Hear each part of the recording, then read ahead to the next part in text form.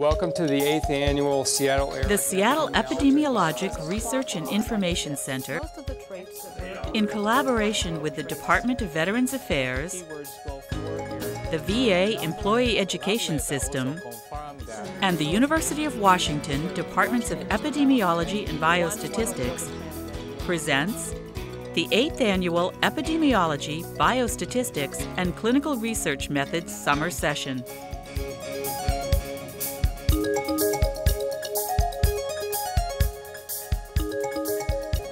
Good morning. Welcome to the eighth annual Seattle ERIC Epidemiology, Biostatistics, and Clinical Research Methods Summer Session. My name is Ed Boyko. I'm the course director.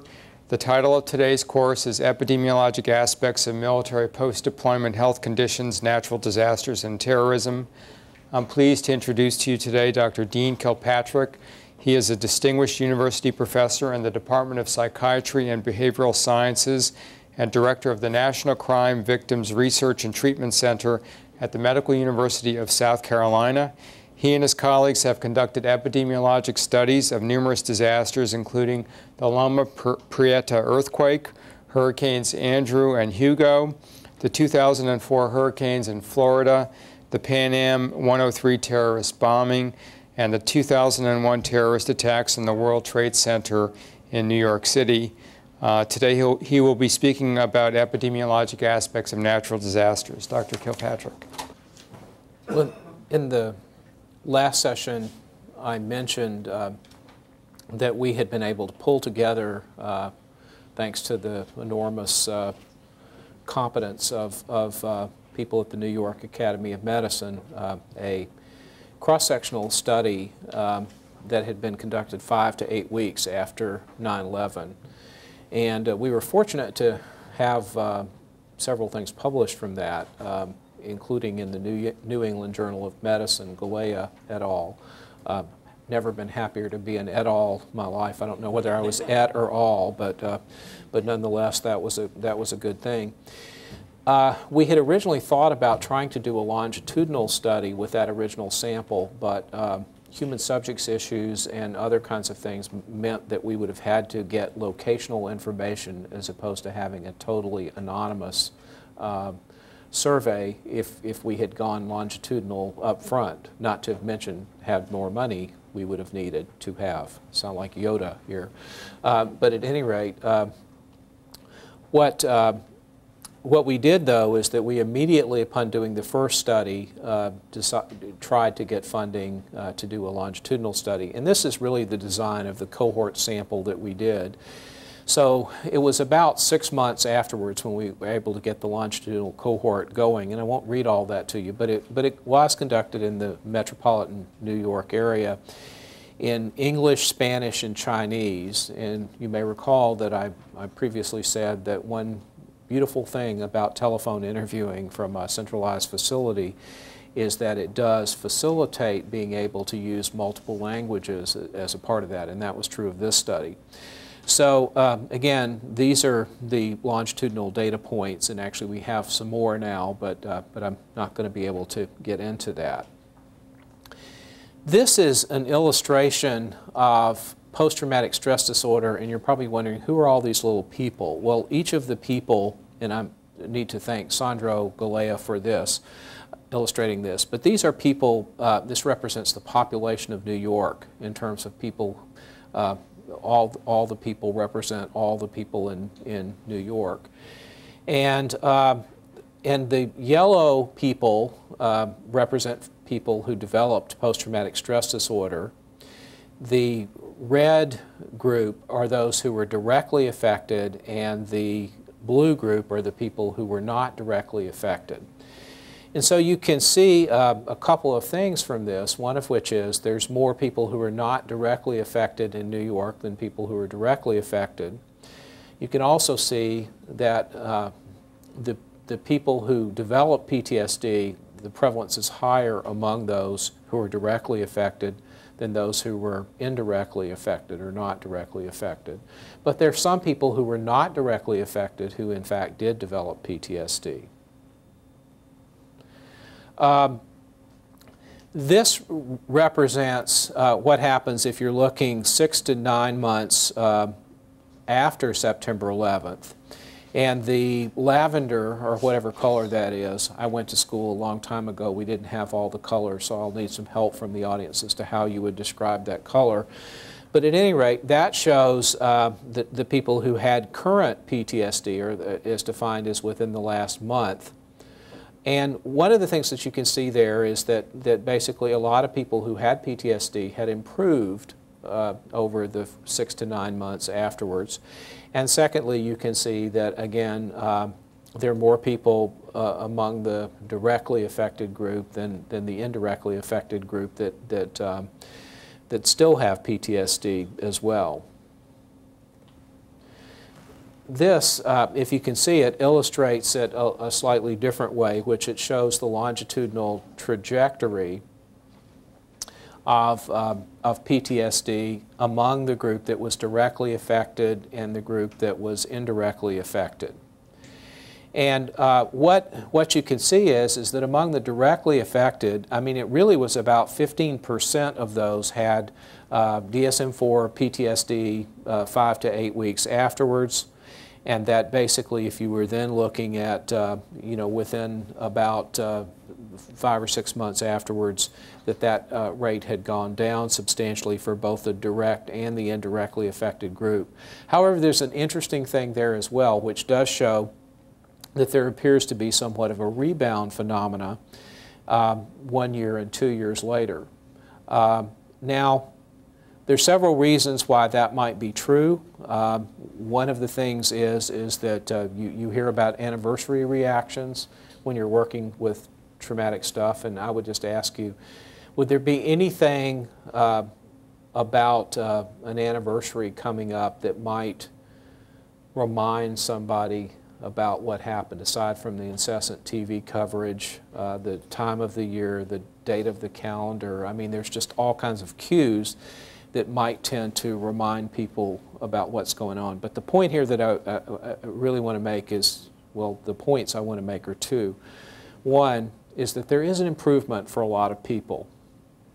And, and secondly, um, it looks like the people who are directly affected, um, you know, have more of a problem than the people who are indirectly affected. And I guess my third point out of the two that I was going to make is that there appears to be more of an anniversary reaction and even an increase in the, in the rate uh, among the directly affected group. Okay?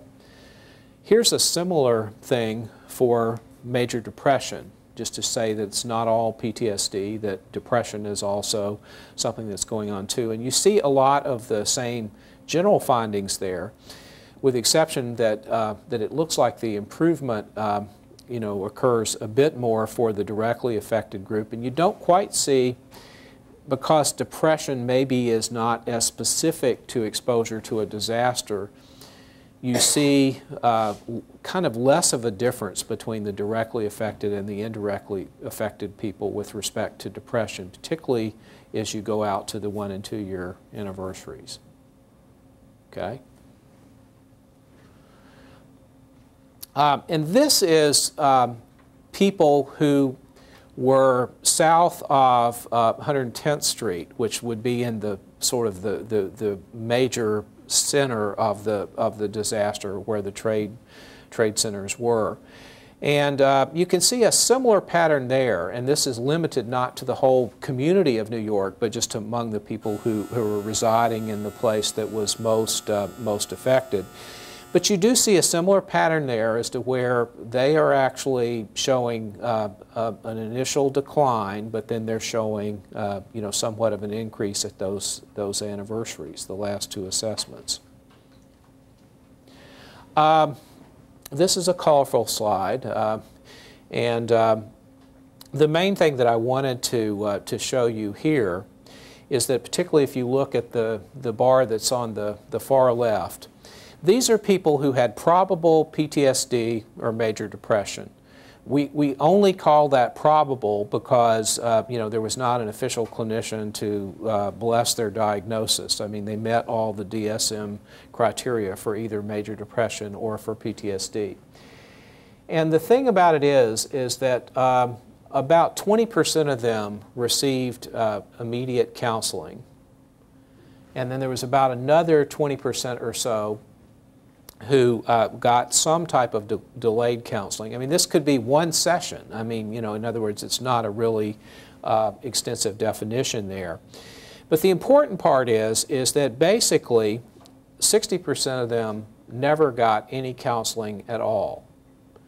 And so one of the things that people think is going to happen after a disaster is that they think there's going to be this deluge of people who are going to come in for mental health counseling.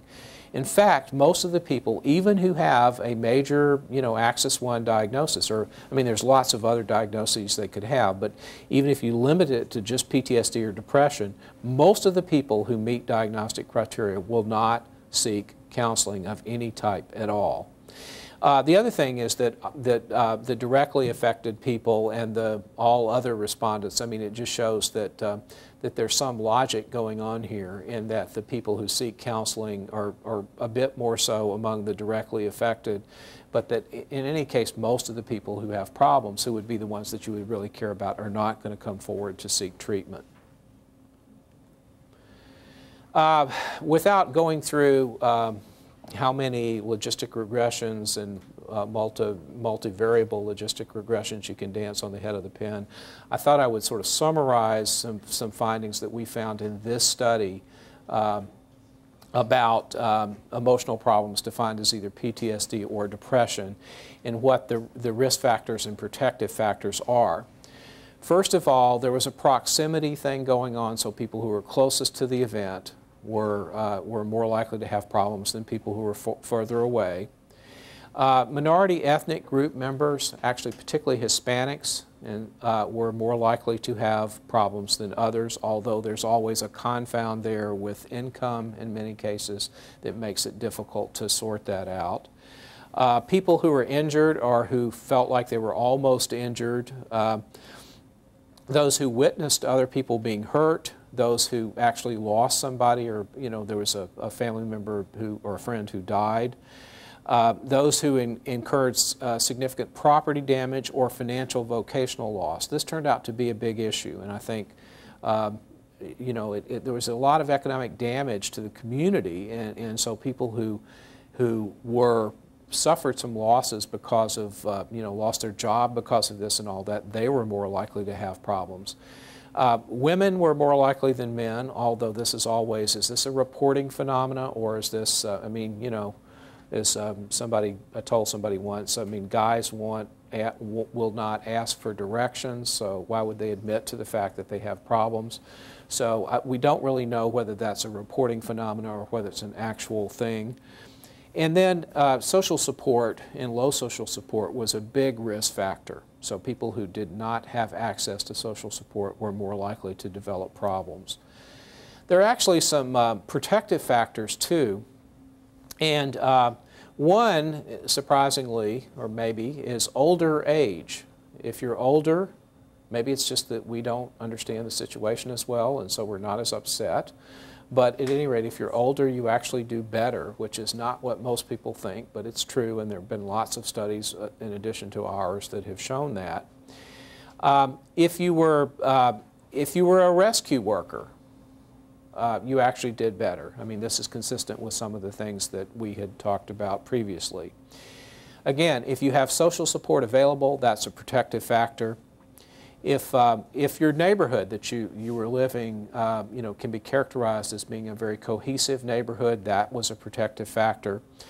If you had support from your family, that was protective. And if you had uh, limited uh, financial or resource impact.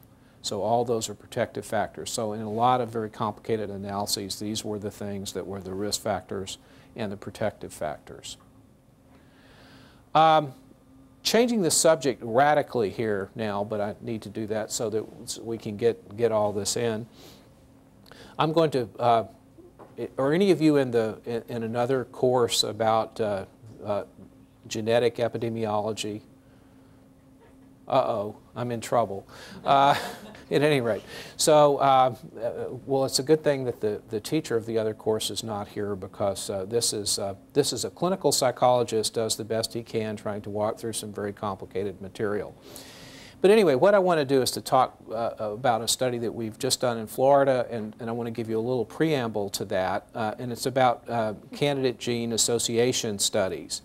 And what those studies are is they basically are examining a correlation between variations or a polymorphism in a specific gene and variation in an outcome or a phenotype. And don't worry, I'm going to connect all this up before we get through. Uh, this is, uh, thanks to my colleague uh, uh, Stan uh, Koenen, uh, this is just a, a, kind of an illustration or one possible illustration of what we're talking about. You have the genome, and then you've got, uh, within the genome, you've got a pair of chromosomes, and then you've got a spot on that, that pair. You've got a gene there, and then you've got a site on the gene. So that's, that's really, that has some variation in it. Um, and uh, uh, Karestan told me that I should say that this is, a, this is a, probably a grossly oversimplification of uh, how complex this is, and so I hope you will forgive me since I don't really know what I'm talking about about this. So she said for me to say that. Uh, anyway, and that people use these terms interchangeably all over the place, and it's very confusing for everybody, even if you do know what you're talking about. Uh, the gene by environment interaction uh, is some, some work, uh, which I'll be describing in just a second, but it's basically a model that is saying that the effect of variation in a gene on risk for an outcome or a phenotype is basically conditional on exposure to some type of environmental risk factor. So it's an interactional model. It's not a main effects model. It's not saying, you know, gene equals disease. It's saying that gene, uh, if you give some variation in terms of exposure to environmental stressors, uh, then that interaction may be related to the disorder or the phenotype. And one advantage of the gene-environment interaction studies is that it may help us understand why it is that exposure to the same environmental risk has different effects. So in other words, not everybody who's exposed to an environmental stressor shows the same phenotypic uh, or outcome effects. So why is that? Well, this may be one reason why. Um, what I want to talk about is really an example, using the example of major depression, because this has been one of the things that's been studied a lot in terms of psychiatric um, gene-environment interactions. So uh, without going into detail, there's, there is a lot of data that suggests that major depression is heritable to some degree, not to 100% degree, but to some degree. And there's also a very strong effect um, or, or, strong evidence base over the years that, uh, that environmental stressors are also risk factors for depression. So um, now, the environmental uh, risk factors include low socioeconomic class, various types of, of, stressful life events have been shown for years to be related or to increase the risk of depression. Uh, but if you want to include genes here, there's a lot of genes. Uh, there's a lot of sites on genes, and how do you get started in terms of what to look for?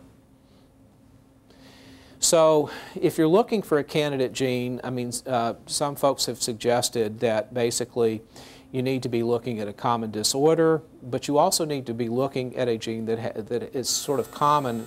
And by the way, in, in genetics, I'm told by my friends who know more than I do, that, uh, that a common uh, variant in a gene is considered to be something that's, that's more than 1%.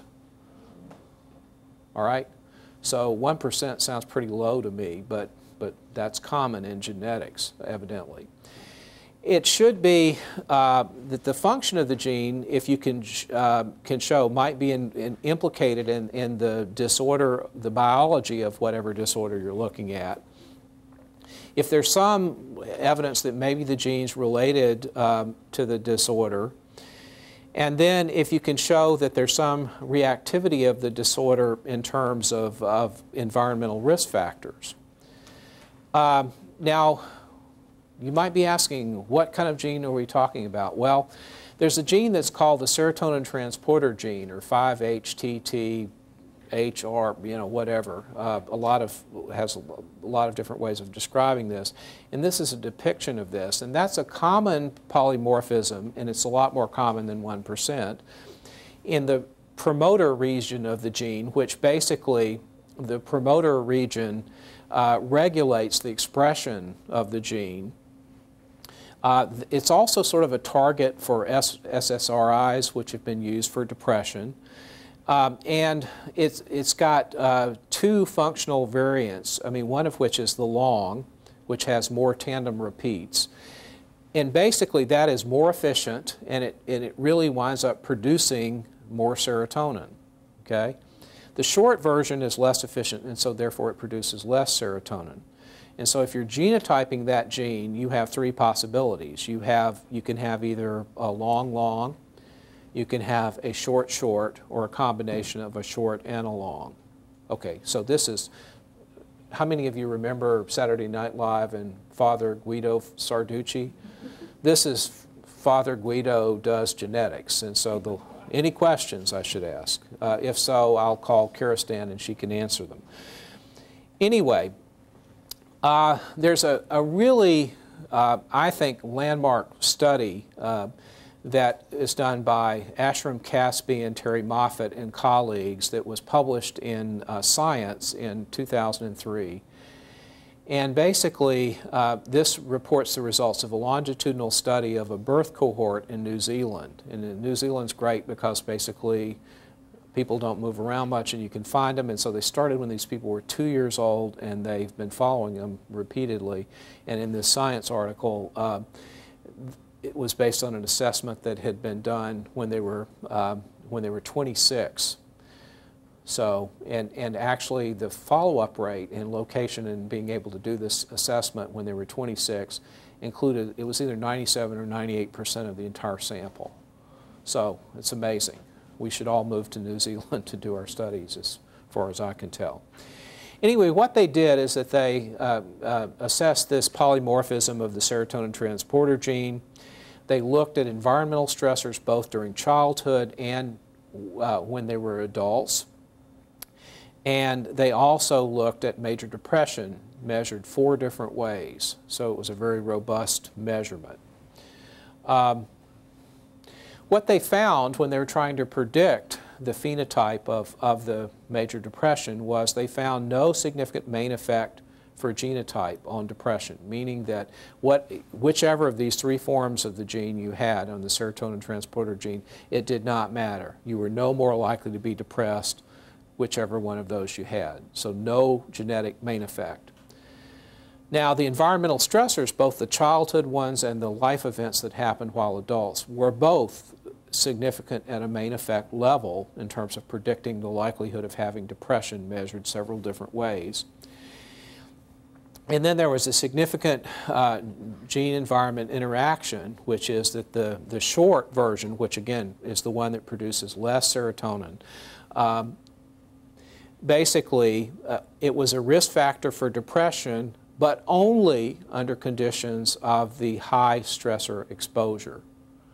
So again, an interaction with the SS uh, being depressed, but only if they had the high uh, you know, the high stress exposure. And then the long version of the gene, the LL version of the gene, actually was protective factor even given stressor exposure. Now this is an important study and it's been replicated several times. There have been a couple of, of studies that have not replicated for a variety of reasons. But anyway, it's been a very, uh, a, I think, a, a, a really landmark uh, study. So the questions uh, that we looked at with respect to disasters uh, is could we replicate these Caspi et al. findings for major depression in the context of an epidemiological telephone survey? I mean, as you can tell, that's about all we've done is done telephone surveys. And so the concept of doing genetic stuff in a telephone survey does not immediately come to mind as something that's real feasible. But we said, well, we've done a bunch of other stuff that people said we couldn't do. Can we do this?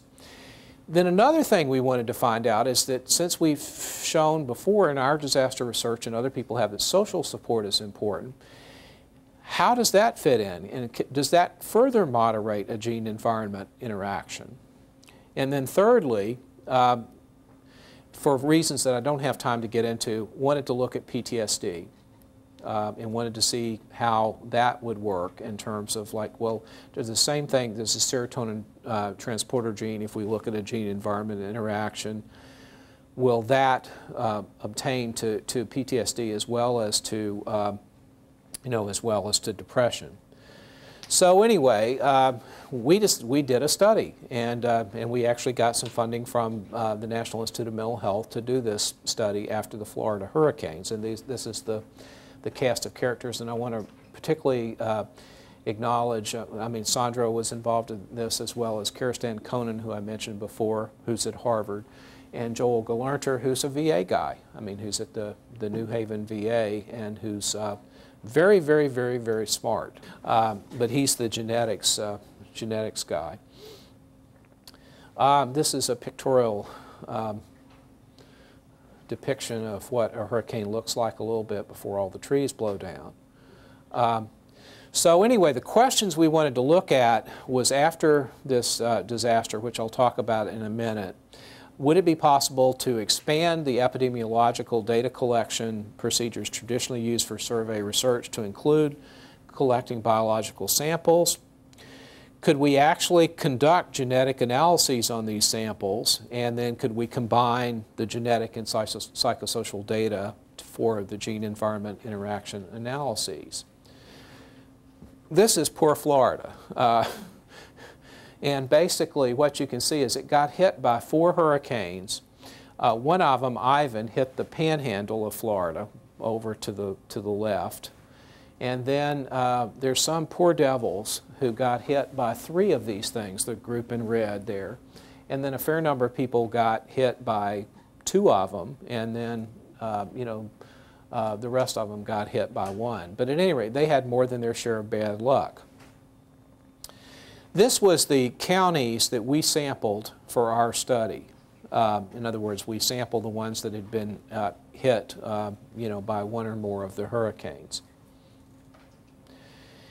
And then what we did, uh, we used uh, random digit dial methodology to survey and um, um, and actually we had an oversample of older folks because we wanted to get a large enough sample there to look at that, is that even among this group that, that shows less vulnerability, can you find the gene environment interactions uh, there uh, or risk and protective factors among the older folks.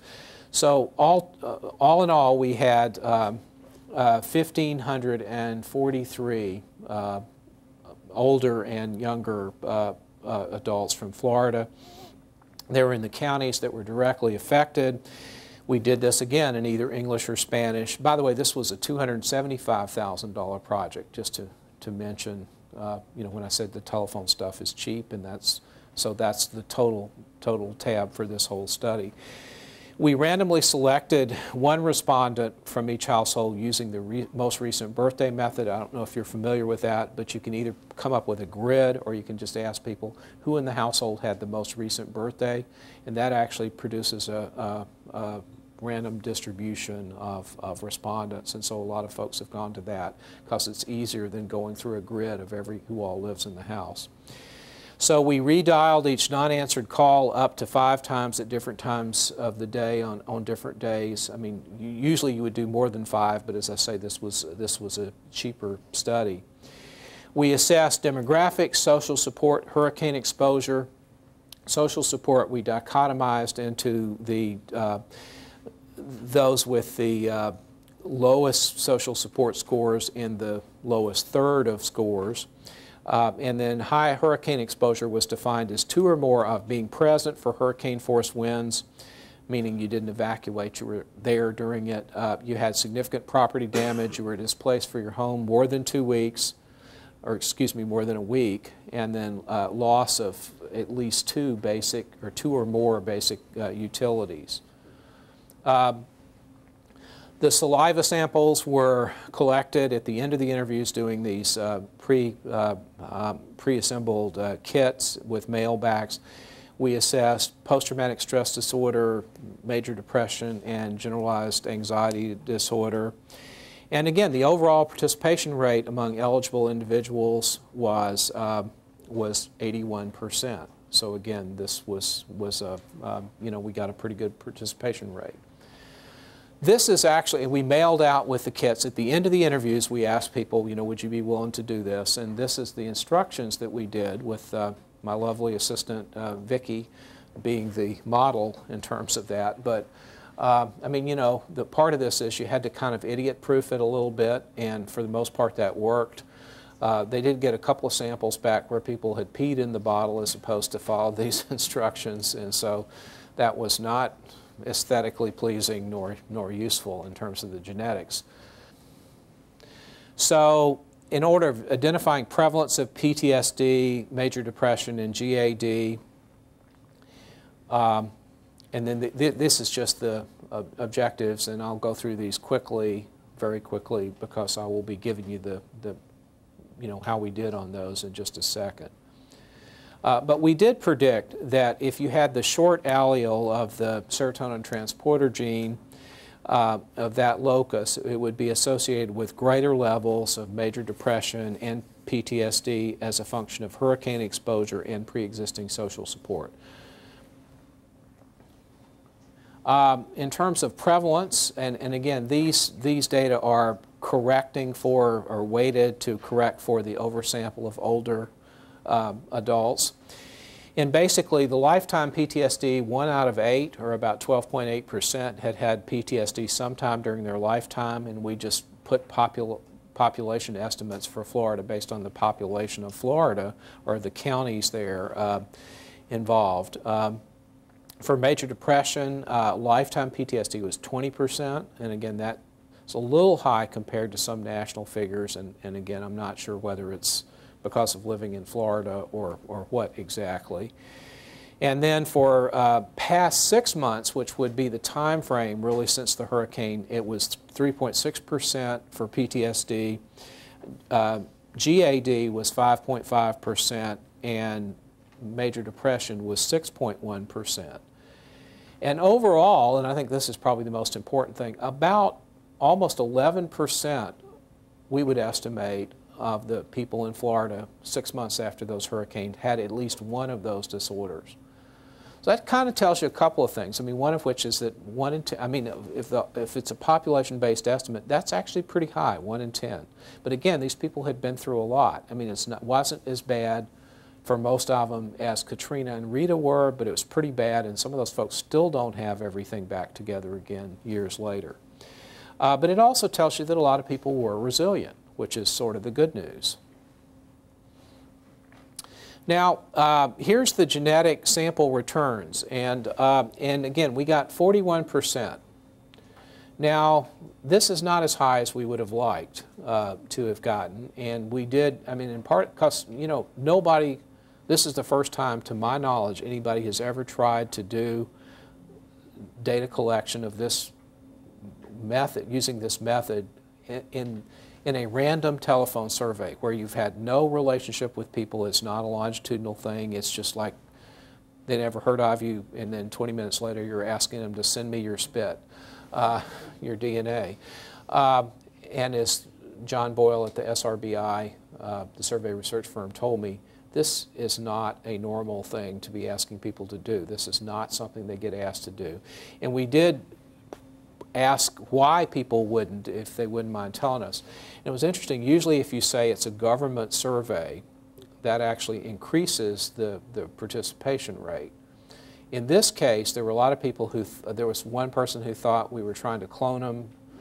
I mean, no kidding. Uh, uh, there was somebody else who thought that, um, thought that um, basically, and a lot of people actually said this, that they were concerned that the president was trying to form a secret database of DNA for everybody, which was not true. Uh, but there was a lot of concern about issues like that, and there was a lot of uh, people who just wanted more uh, information. And so we think that we have designed a way to maximize, I mean, to address a lot of the concerns Uh, and, and one of which is, is that in the future, we're going to, the next time we do a study like this, we're going to set up a website that they can check it out that explains really about the, uh, the gene environment interaction stuff and gives more specific uh, you know, information about that.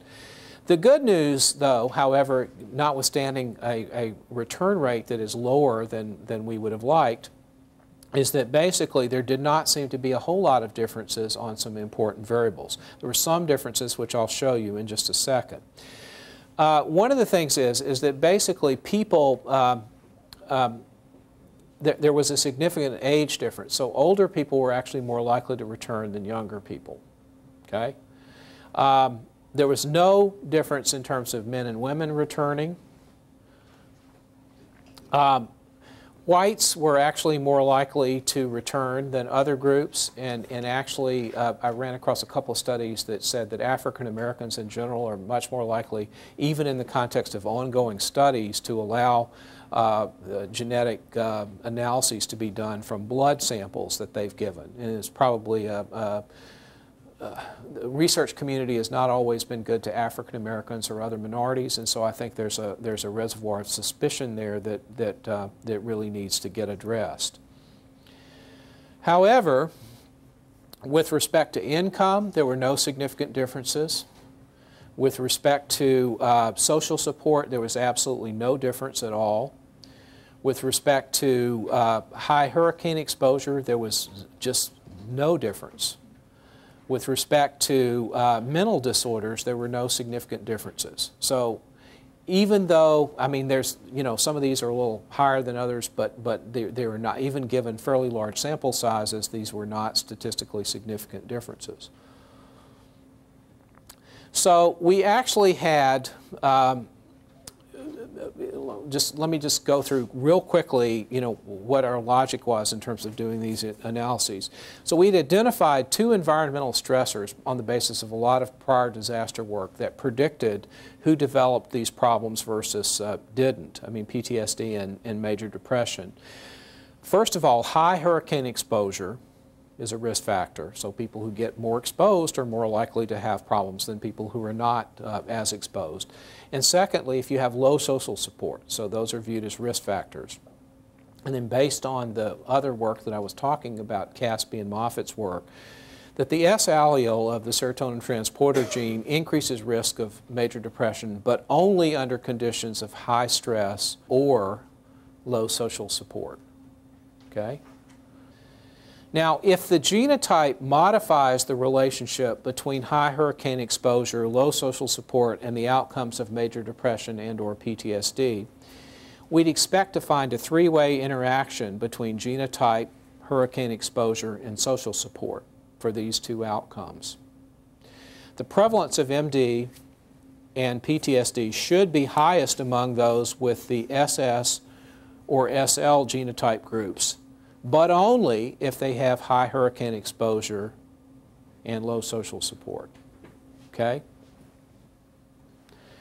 And here's in fact what we found. We did find a significant three-way interaction. And the, the group um, here, these are the SSs, the short shorts, uh, again with low production of the serotonin. Um, and again, among that group that had also low social support and high hurricane exposure, 17.6% developed PTSD, which again for a general population sample is pretty high. This is the, the mixed group with the one S allele and one L allele, uh, again with low social support and high hurricane exposure in the middle. And then everybody else is lumped in in terms of the, the, the final group, all other uh, conditions. So basically, this does represent the three-way interaction. So in fact, our hypothesis was really supported in terms of, of finding that. And again, it's a little more complicated for depression than for PTSD, uh, in that basically, uh, uh, in that case, um, it, it's sort of a different model for the genetics, I guess, and it, it appears that, uh, you know, just having uh, one S allele there is, is what does the trick as opposed to having two. But uh, that was also a significant three-way interaction. And by the way, this was adjusting for a variety of other demographics and, and other variables. So again, this is like really hot off the computer printout uh, uh, data, but um, just to summarize it, um, I would say that it is, it is feasible to conduct uh, these RDD studies with biological comp components after disasters. Um, that the prevalence of post-disaster PTSD, MD, and GAD were substantial if you figured that about 11% of the people, uh, you know, had these, uh, you know, after, in the six months or so after the disaster. And then, then I think we did find some support for our hypothesis about the, the gene times environment interactions being important and that, uh, and to some degree, the LL genotype as well as the high social support were protective factors even given the high hurricane exposure. Um, again, uh, I, I, I, personally find this gene environment interaction stuff fascinating. I tend to get uh, overly engaged in things that I find fascinating and maybe push them too far. But I really think that, that this is adding a dimension that will allow us to uh, to look for uh, some things, uh, some protective factors in ways that we haven't before. You have to be careful about genetics. We were very, we were very, very careful in that, uh, uh in the way we collected this information in such a way that nobody could could link a genetic sample with the survey data, uh, and we were very, very careful about putting all that together in, in the ways that we could protect that. And, and genetics has, a, I mean, there, there are ethical and human subjects issues around that that are very important. But uh, again, I think that this methodology um, is promising and certainly warrants, uh, you know, some future attempts to replicate things. Um, for the all others, uh, there's none of the the the results uh, give the results for LL, the LL group or is the all others LL or a It would include LL and then just everything else. Again, it's too complicated to, to break out, but in other words, the LL people would be in the all others group. Oh, was there a big effect if you just looked at people who had LL and had low social support and high hurricane exposure? Um, was there a big effect? No. I mean, uh, I, I, I, think the answer is no, but again, I can't remember the exact. I, I, mean, the sub breakdown. I mean, by the way, the, the total N for this wound up being um, about 600 for these analyses where we had all of the data. Um, so um, I, I probably can't really answer your question now. That would be a good group to see, though. It would. You're right. Somebody else? Were there incentives for returning samples? Um, yes, there were incentives, and actually we did a little study on that uh, in which we were, uh, we offered, um, I think originally a $10 incentive and a $20 incentive, and there was absolutely no difference between a 10 and a 20. Uh, my friends who do this uh, collect biological samples uh, for a living tell me that, uh, that probably if you pop that up to 50, you would get uh, a much better return rate.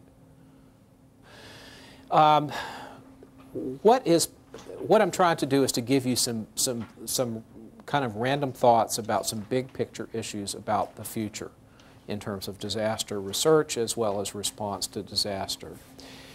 Um, and one of the things is is that there's a broad range of of different types of responses that we might expect to see after disasters. And that disasters really have the, the potential to affect communities in major, major ways. And that really, the effect that a given disaster is going to have on a given community is going to depend on a lot of things, but one of those things is going to be the vulnerabilities of the, the pre-existing vulnerabilities of the community as well as the assets uh, and capacities that a community has. And so that that's an important thing that tends to not get focused on in a lot of research. Um, and so if you think about it at a community level and you think about vulnerabilities and capacities for a community, that you can kind of think about that as a rough balance. And so that obviously if a, if a community has a lot of vulnerabilities pre-disaster versus one that has a lot of capacities, uh, then there's going to be a differential effect there. And it's the balance of those two things that all other things being equal will determine what happens. And I, I would argue that one of the reasons that New Orleans and, and Katrina and uh, Katrina was so bad was that it, that it had happened to a community that was sort of teeter-tottering on the edge. There was a lot of poverty. There was a lot of uh, a lot of difficulties in the community, and so it had lots of vulnerabilities, and maybe the capacities you know, were not as great as they might have been. So maybe that would be, uh, you know, just one, one example. So when you have a lot of vulnerabilities in a community, uh, those can be, those communities with those vulnerabilities can be easily disrupted when you have a major stressor of a disaster. And when there are threats of significant property damage, injury or death, economic loss. And then in poor communities, and, and, perhaps that's one thing around the world where you see when something happens in a very, very poor community without a lot of resources, then the effects are going to be more massive, all other things being equal than, than not. On the other hand, capacities are resources that allow communities to adapt, to put things back together again, in order to keep functioning. And the stronger those communities are, the better it will be. Now, one implication of this is we need to grow those. In other words, to the extent that government and other kind of social structures uh, help grow these capacities, that can be a very preventive thing in terms of, of helping a community deal with things when, when, uh, when bad things do happen. Um, now, some things that can be um, either vulnerabilities or capacities. Obviously, if you have an unstable government versus a stable government that's proactive and deals with things, that can, can make things either better or worse. If you have a weak economy, what the pre-existing unemployment rate is, is obviously something. I mean, if there were a lot of people unemployed before something, then, you know, having a disaster is not going to ordinarily make it a lot better the SES of a community is going to be a rough indicator of some capacities and ability to deal with things. Time since the last disaster. I mean, I think one of the reasons the Florida people were sort of messed up was because, uh, to the extent that they were, was because they just had these things one after another and they didn't even have time to recover from one before another one. People are very twitchy down in the Gulf Coast right now because many people have not gotten their lives back together and they're just saying, well, how in the world will I deal with something if we get something else happening? Um, social cohesion, I mean, how co cohesive a community, neighborhood, etc. is will make a lot of difference. And again, in neighborhoods and communities where people are very close and where the neighbors work together to help other neighbors and that type of thing, obviously that makes it a lot better. Access to health care. I mean, New Orleans, again, I mean, they still don't have, I don't think, they still have an operating hospital. So imagine what happens. I mean, there's usual things that happen to people aside from injuries and whatnot that, that happen directly as a function of a disaster. But I mean, how do you operate if you can't get routine, preventive, maintenance type of access to health care? And then insurance options and the percent of the uh, community that's insured obviously makes a lot of difference. And again, I'm, I'm, i will tell you that uh, insurance um, it will either cancel your policy or raise your rates or both. Uh, you know, so that and you know raise the deductibles and and and all that. And so it makes it difficult, you know, for folks to, to deal with uh, that. But if they have access to good insurance, that can deal with a lot of the, the uh, emotional, not emotional, but the, the uh, economic losses. And protections are things that are that we can manipulate to some degree. And it depends on, you know, how much stuff comes in, how much help is given. Um, that can really offset a lot of the problems, which I think is one of the reasons why uh, you know, this disaster was so tough um, on people. I mean, I'm talking about Katrina and Rita, is that, uh, you know, people that needed help really, for the most part, were not getting help. And so that just obviously complicates things. So if you get the aid, it can mitigate disasters. If you don't get it, it can make things worse. And then all regions of the U.S. and regions of the world, and even regions within, you know, probably even the Seattle, the greater Seattle area or wherever you're from, differ a lot too. And so that's going to, uh, again, all things being equal, is going to make a lot of difference and should be taken into account as you're trying to assess the, the, the degree of disasters. So what I'm going to do now, I think, let me summarize uh, some information that I have about media there's a question about whether seeing bad things happen on the media per se can cause or are related to in some way uh, the amount of distress and PTSD and depression that people are having. So in the New York study that I mentioned before, we did some things that specifically looked at that. And uh, to summarize it, people reported afterwards, and I'm sure wherever you are in the United States, if you were sitting in front of a TV, you saw over and over again some of the images that happened. And here's a couple of things that we found. One, the image that was uh, really, really upsetting to people and was most related to PTSD or depression was basically seeing people jumping or falling out of the building that was by far the most upsetting to people. And what we found is among people who, first finding was among people who had been directly affected versus people who had not been directly affected, there was an interaction. And so the number of times that you saw on the media people jumping out of the building or, or falling out of the building was significantly related to the likelihood of having PTSD, but only among the directly affected individuals. So that's one finding. Second finding is that in terms of anniversary watch, TV watching, it appeared that for that, uh, the people who developed uh, PTSD new cases of PTSD who had never had PTSD before. The biggest relationship was, was basically among those who had had some PTSD symptoms but did not meet full diagnostic criteria at time one, but who went on to develop it at time two.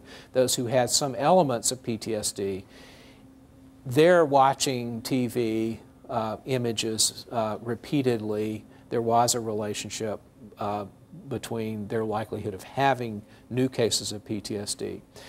So my feeling is it's sort of a chicken and the egg thing. Is it that it's moths to a flame and that people who have problems uh, can't help themselves from watching TV? Are they, are they the ones that have the problems? Or is there any example of just actually watching something and you didn't have any problems before and now you develop the problems as a function of seeing these images? And I would say that I really believe it's more the um, the former than the latter, but I would say that it couldn't hurt, you know, to tell people uh, that if you're getting upset by watching TV, quit watching TV, turn it off, do something else.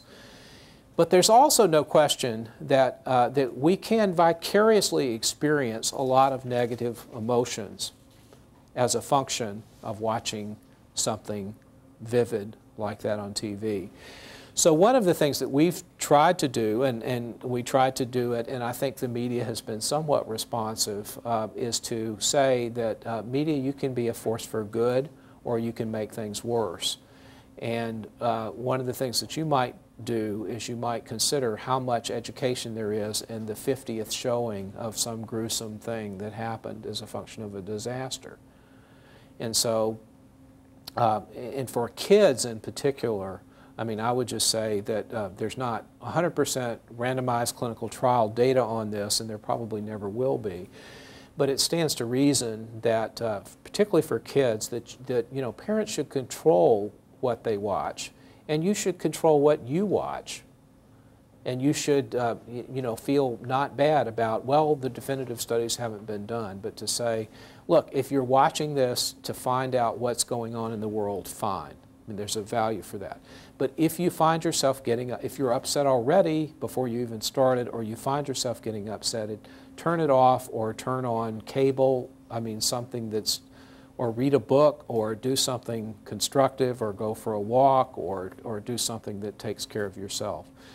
So again, uh, I think the jury's still out a little bit um, on this, but, but uh, again, a take-home thing that I would say would be that I do believe that it's mostly among people who are already upset, who have some uh, pre-existing due to the disaster problems that are most likely to show that association than people who've not been directly affected, who have not had some symptoms before. Among that group, clearly the more you watch, the worse it gets. And that there's at least some reason to believe that maybe if you stop watching, uh, maybe you'll get better. And so uh, I think with that, I will uh, say that, uh, that we've covered too much in the lesson to possibly summarize right now. Uh, but uh, I hope that it's been useful for you, and I believe that this uh, concludes uh, this session today.